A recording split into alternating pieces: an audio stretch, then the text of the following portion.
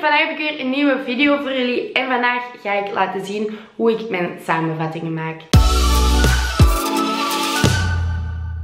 Dit heb ik um, al heel erg lang geleden, namelijk al voor, al heel erg lang geleden. Ik kreeg die vraag al van vorig schooljaar, um, halverwege vorig schooljaar, om het te laten zien.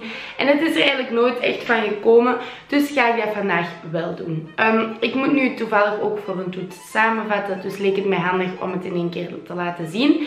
Ik gebruik voorbeelden ook van andere samenvattingen, maar ik ga het zo duidelijk mogelijk uitleggen. Wel even een disclaimer. Um, ik, ik maak mijn samenvattingen op deze manier. Er zijn natuurlijk ontelbaar veel mogelijkheden en soorten samenvattingen. Dus je kan eigenlijk helemaal zelf kiezen uh, hoe je het wilt doen. Maar ik vind het op deze manier het handigste. En als je bijvoorbeeld echt in de war zit met hoe je het best een samenvatting kan maken of wilt maken. Dan kan je misschien door mij uh, wat ideeën opdoen of zo. Weet ik veel. Maar ik wou het toch graag aan jullie laten zien. Ik heb nu genoeg gepraat. Doe deze video alvast zeker een duimpje omhoog als je hem leuk vindt. En abonneer alvast even hier beneden. Het is helemaal gratis en zo blijf je op de hoogte van mijn nieuwste video's. En laten we nu maar heel snel aan beginnen. Dit is mijn opstelling tijdens het um, leren. Dus hier ligt dan mijn bundel of mijn, ja, de leerstof die ik moet leren. Dit is mijn kladblok. Uh, mijn planner, zodat ik kan zien wat ik allemaal moet doen. Mijn pennenzak en uh, meestal staat mijn laptop hier ook. Dit is een PowerPoint um, ja, van de leerstof die ik nu moet leren. Dus dat hoort er nu bij. En ja, als dat allemaal klaar staat, dan begin ik eigenlijk met samenvatten. Ik ga uh, mijn best doen om het zo goed mogelijk aan jullie te laten zien. Uh, maar dit is dus mijn kladblok. En ik heb hem ook ingedeeld in verschillende vakken. Um, dit is een NW-vak. Dit is mijn sociale wetenschappenvak, want dat zijn mijn twee hoofdvakken, dus NW en SW. En dit lijkt nu enkel Frans. Um, maar hier komen dan bijvoorbeeld ook Nederlands en aardrijkskunde en geschiedenis en zo. Um, zo van die dingen komen hier ook bij. Uh, maar vandaag ga ik uh, eh, NW samenvatten en ik ga dat dus samen met jullie doen, zodat jullie dat ook kunnen zien. En zoals jullie misschien ook wel al een beetje kunnen zien, gebruik ik altijd eenzelfde soort structuur.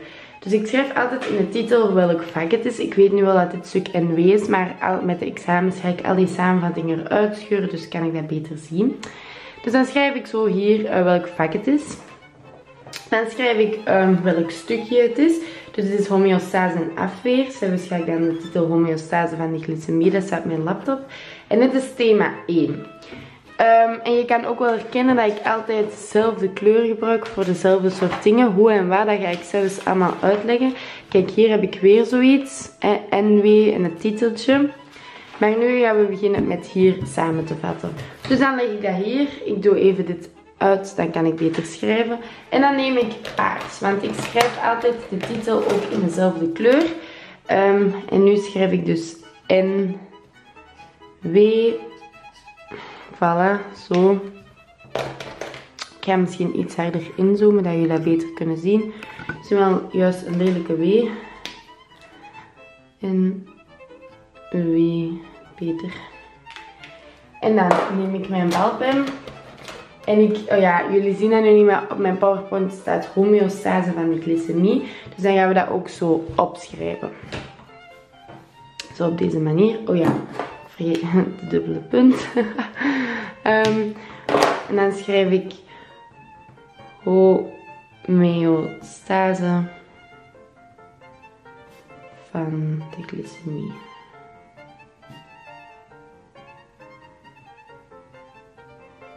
Voilà, op deze manier. En dan um, schrijf ik hieronder nog, dit is een extra bundel. Dus dan schrijf ik dat tussen haakjes extra bundel. En dan um, weet ik dat hij bijvoorbeeld niet uit de, boek, het boek komt, maar uit een extra bundel. En dit markeren we dan, want dit is ja, het extra uh, informatie dat ik gegeven heb. En um, de homeostase van de glycemie zetten we in het roos, want dat doe ik ook standaard altijd zo. Op die manier. Oei, is net niet zo mooi gemarkeerd. Ik veeg trouwens ook altijd zo dat eindpuntje van mijn markeerstift uit, want anders maakt dat zo'n vlek en daar kan ik echt niet tegen. Um, dan zie ik hier in mijn bundeltje, dan blader ik daar eens door. Om te zien, hè, zijn dat mijn ondertitels of zo. En ik zie bijvoorbeeld al direct ehm, dat ik ondertitels zie. Uh, hier gewoon allemaal uitleg. Dus dit zijn allemaal ondertitels. Um, dus dat wil zeggen dat ik in mijn samenvatting ook met die verschillende kleuren ga werken. Nu heb ik hier voor mezelf een papiertje gemaakt.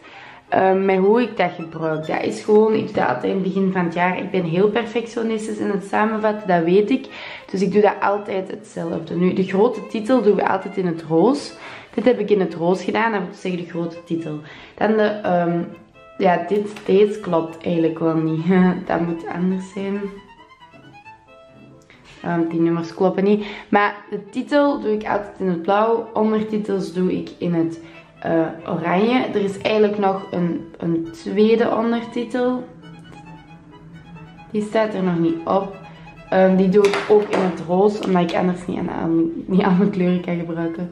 Ik heb te weinig kleuren. Dus de tweede ondertitel is ook in het roos. Mijn een definitie doe ik altijd in het geel en iets anders. Um, dat doe ik altijd in het groen. Dat kan je hier ook zien. Ik zal nu even bij SW laten zien. Blauw, dus dat is de hoofdtitel. Dat dubbel onderlijn ik ook altijd. Dit is een definitie bijvoorbeeld, waarom het gedrag is. En dit is iets extra. Hier is een ondertitel, dat doen we dan in het oranje. Um, dit is een tweede ondertitel, dat is dan in het roze bijvoorbeeld. En zo ga ik dat hier ook doen. Ik kijk ook altijd naar ja, waar ik eerst moet opschrijven. Dus ik lees dat ook even door. Um, en dan ga ik daarvan opschrijven. En ik ga ook naar de PowerPoint kijken die um, daar is. Zijn er ondertitels niet wel. Um, en hier begint het bij de ondertitel. Dus ik ga nu terug naar mijn bundeltje. Um, dat papiertje, dat leg ik terug weg, want dat ken ik nu ondertussen wel in mijn hoofd. Um, ik ga deze twee pagina's nu even overslagen. Um, en ik ga gewoon bij de titel beginnen. dan staat er ook op mijn PowerPoint trouwens, die, ja, ik zal even helemaal uitzoomen. Dan zie je het een beetje. Hij zo lees ik dan van de PowerPoint de belangrijke dingen, in mijn bundel de belangrijke dingen en uh, schrijf ik hier op. Maar ik ga nu gewoon zo even inzoomen en kunnen jullie ook meevolgen. Dus um, biochemie van koolhydraten. Um, dat is de eerste belangrijke titel. Dus dan schrijf ik um, A. Dan pak ik mijn latje. En dan ga ik dat onderlijnen. Ik doe dit dubbel onderlijning, omdat ja, zo. En dan pak ik mijn blauw.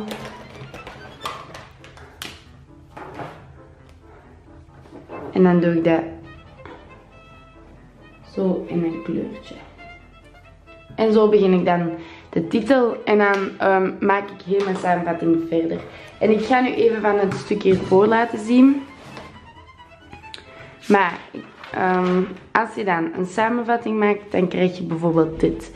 Hier staat dan de titel, twee definities, extra dingen, een ondertitel, een ondertitel. Ah ja, en dan wil ik nog even vertellen, ik heb hier um, I in het rood en J in het rood omcirkeld. Soms hebben we ook extra papieren. Bijvoorbeeld een, um, ja, het hart stond op een extra papier bijvoorbeeld. Of uh, een dia die ik niet helemaal ga overschrijven. En dat print, die dia print ik dan af en dan is dat mijn extra papier. En dan schrijf ik hier in mijn um, kladblok een verwijzing naar i. Dat blad heb ik dan i genummerd, want ik doe dat dan allemaal op volgorde. En dan omcirkel ik dat en dan weet ik, ah, ik moet nu naar blad i gaan kijken. Dan moet ik nog van buiten leren blad j. Dan hier op de achterkant bijvoorbeeld net hetzelfde. Hier staat k. Dan uh, L en dan M en N. Staan hier van onder ook nog. Dus zo doe ik dat dan allemaal. En uiteindelijk krijg je dan zo'n duidelijke en overzichtelijke samenvatting, vind ik zelf toch. Hier bijvoorbeeld is er eentje van sociale wetenschappen. Ehm, die heeft ook wat meer van die kleurtjes. Deze heeft bijvoorbeeld geen verwijzingen, maar um, ja, deze zit dan ook veel. Bijvoorbeeld bij Frans dan. Um, gebruik ik die kleurtjes soms een beetje anders. Dan kan je uiteraard helemaal zelf kiezen hè? Uh, hoe dat je dat doet.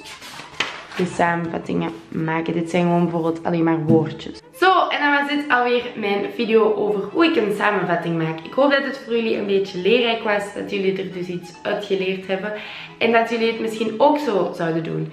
Als je wil, kan je altijd op Instagram of Snapchat mij een foto sturen van hoe jij jouw samenvattingen maakt. Ik zou het wel leuk vinden om te zien. En misschien kan ik er zelf ook wel uh, wat inspiratie uit opdoen. Als je de video leuk vond, geef deze dan zeker een duimpje omhoog. En vergeet ook zeker niet te abonneren hieronder. Ik zou het ook heel erg leuk vinden. En um, ja, dan blijf je op de hoogte van mijn nieuwste video's. En ik wil jullie nog heel erg bedanken om te kijken. En ik zie jullie snel weer. Doei!